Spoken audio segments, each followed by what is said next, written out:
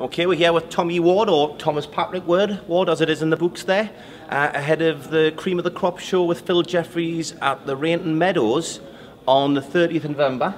Tommy, how's everything been going in preparation? It's been going really good. Um, I've been sparring with Scott Quigg. Couldn't get no better preparation than that. You know, he's a world champion at the weight I want to box at. So you don't get no better than that. And um, such a nice, nice guy to work with. Such a nice person altogether. So it's been really, really good. I really enjoyed it.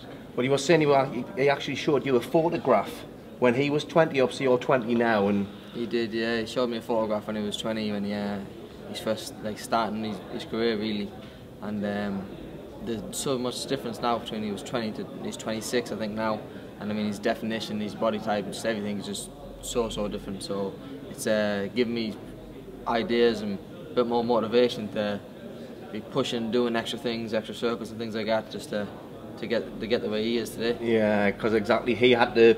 He He's, had to he's known as probably one of the most dedicated trainers in the in the sport, isn't Yeah, he? Yeah, definitely. Everyone who you talk to says, uh, you know, he lives for boxing, boxing's everything.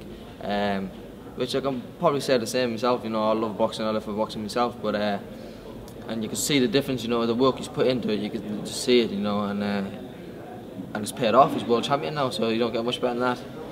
Well, you've been a pro for two years now, um, and upstairs at the press conference, Phil's talking about letting you off the leash shortly. What's your, what, what are your what are your plans? Obviously, you've got certain things mapped out for you. What are your plans over the next couple of years?